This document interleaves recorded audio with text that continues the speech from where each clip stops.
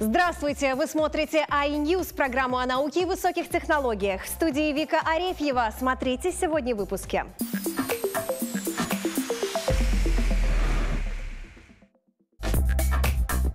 Есть ли жизнь на спутнике Сатурна? НАСА отправит дрон для исследования Титана.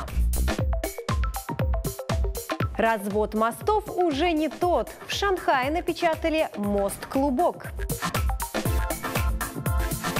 На интернет-зависимость. Искусственный интеллект учит ставить новый диагноз.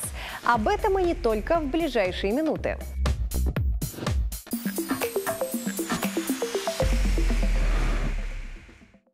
Американцы отправят дрон к спутнику Сатурна. План миссии опубликовала НАСА. Беспилотный вертолет Dragonfly оснастят восемью научными камерами, двумя спектрометрами и установками для сбора грунта. Он также будет иметь геофизический и метеорологический комплекс с 11 различными приборами, способными измерять температуру воздуха, давление, влажность, скорость и направление ветра. Dragonfly – это старший брат марсианского дрона инженера Ingenuity, который сейчас трудится на Красной планете. Dragonfly высадят на спутнике Сатурна Титане в районе экватора. Одной из главных задач робота станет забор грунта. Исследование почвы позволит выяснить, была ли когда-либо жизнь на Титане. Эта миссия запланирована на 2030 год. Как передает Гизмода, Титан – единственный спутник в Солнечной системе, который имеет плотную атмосферу и значительное количество жидкости на поверхности, хотя эта жидкость и представляет представляет собой углеводородные моря.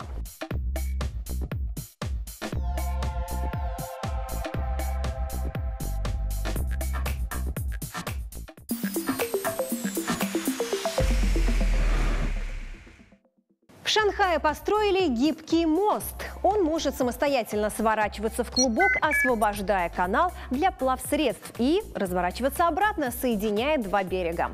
Это первый в своем роде гибкий мост в Китае. Его протяженность чуть менее 10 метров, ширина полтора метра, а высота и того меньше. Мост состоит из 36 треугольных панелей, которые, свернувшись, образуют окружность. На весь процесс уходит всего одна минута. Со стороны кажется, что конструкция очень легкая, но она весит 800 750 килограмм. Необычен не только сам мост, но и то, как его отстроили. Конструкцию напечатали на 3D-принтере всего за три дня.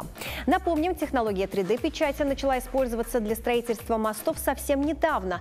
Первое такое сооружение этим летом открыли в Амстердаме. Об этом мы рассказывали в одной из наших прошлых программ.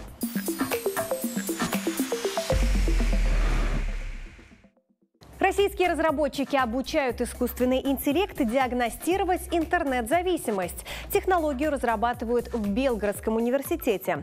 Как передает ТАСС, программа представляет собой игровое пространство, своего рода симулятор, в котором участники исследования выполняют повседневные привычные действия, максимально приближенные к реальным условиям работы в интернете.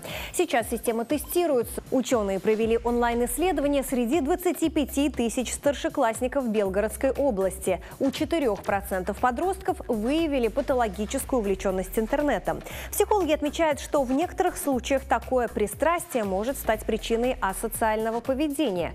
Ученые отмечают, что интернет-зависимые в основном делятся на несколько групп. Тех, кто общается в сети, исследует какой-либо вопрос, изучает возможности заработка онлайн и тех, кто потребляет аудио и видеоконтент. Как раз для последних популярное среди подростков приложение TikTok вводит новые ограничения. Пользователи 13-15 лет больше не будут получать уведомления от приложения после 9 часов вечера, а подростки 16-17 лет после 10 вечера. Кроме того, аккаунты подростков станут более приватными по умолчанию. У новых несовершеннолетних пользователей будет стоять запрет на получение личных сообщений от незнакомцев.